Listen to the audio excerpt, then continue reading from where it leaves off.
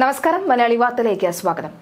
മുണ്ടക്കൈ ദുരിതത്തിൽ ലോകത്തിന് തന്നെ മാതൃകയായ രക്ഷാപ്രവർത്തനം നടത്തിയ സംസ്ഥാന സർക്കാരിനെതിരെ പ്രിയങ്ക ഗാന്ധി എം പി ആഞ്ഞടിക്കുകയാണ്. സംസ്ഥാന സർക്കാർ മാതൃകയാകുന്ന രീതിയിൽ രക്ഷാപ്രവർത്തനം നടത്തിയെന്ന് പറയുമ്പോഴും ഇനിയും കണ്ടെത്താനുണ്ട് നൂറോളം പേരെ.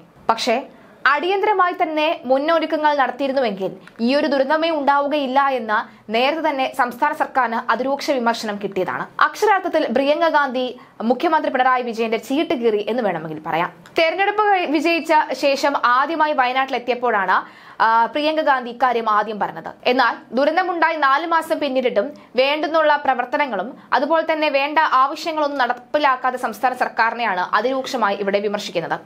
മുണ്ടക്കൈയിലെ രക്ഷാപ്രവർത്തനം മാതൃകാപരമായിരുന്നു എന്ന് എല്ലാവരും ഒരുപോലെ സമ്മതിച്ചതാണെങ്കിൽ പോലും ആവശ്യമായ സഹായങ്ങളും ധനസഹായവും കിട്ടിയിട്ടില്ല എന്നാണ് ഇപ്പോഴും വിമർശനം. മുഖ്യമന്ത്രിയുടെ ദുരിതാശ്വാസ നിധിയിലേക്ക് കോടിക്കണക്കിന് രൂപ വന്നിട്ടും അത് നേരിട്ട് ദുരിതബാധിതർക്ക് നൽകാൻ മുഖ്യമന്ത്രി എന്തുകൊണ്ട് തയ്യാറാകുന്നില്ല എന്നടക്കമുള്ള ചോദ്യവുമുണ്ട്. കേന്ദ്ര സർക്കാരിനെ വിമർശിക്കാതെ സംസ്ഥാന സർക്കാരിനെ അതിരൂക്ഷ ഭാഷയിലാണ് സത്യത്തിൽ പ്രിയങ്ക ഗാന്ധി വിമർശിച്ചത്. ദുരിതാശ്വാസ ക്യാമ്പുകളും അവിടെ നിന്ന് സർക്കാർ വാടകയ്ക്കെടുത്ത വീടുകളിലേക്ക് മാറ്റിപ്പാർപ്പിക്കലും നഷ്ടപരിഹാരങ്ങളും പ്രതിദിനം മുന്നൂറ് രൂപ നൽകിയതുമെല്ലാം സംസ്ഥാനമാണ് നിർവഹിച്ചത്. ഒന്നിലും പരാതിയും ഉണ്ടായിരുന്നില്ല.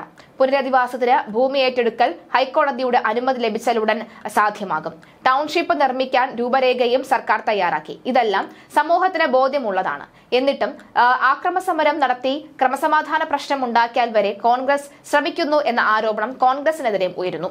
യൂത്ത് കോൺഗ്രസ് പ്രവർത്തകർ വയനാട് കളക്ടറേറ്റിന് മുന്നിൽ പോലീസുകാരെ ആക്രമിച്ചു കഴിഞ്ഞ ദിവസം സമരം നടത്തി എന്ന ആക്ഷേപം ഉയരുമ്പോൾ അതിരൂക്ഷമായി പോലീസ് യൂത്ത് കോൺഗ്രസ് പ്രവർത്തകരുടെ മുതുകത്തടിക്കുന്നതും വലിയ രീതിയിലുള്ള രക്തം ഒഴുകുന്നതും ഒക്കെ തന്നെ നമ്മൾ കണ്ട ദൃശ്യങ്ങളാണ്.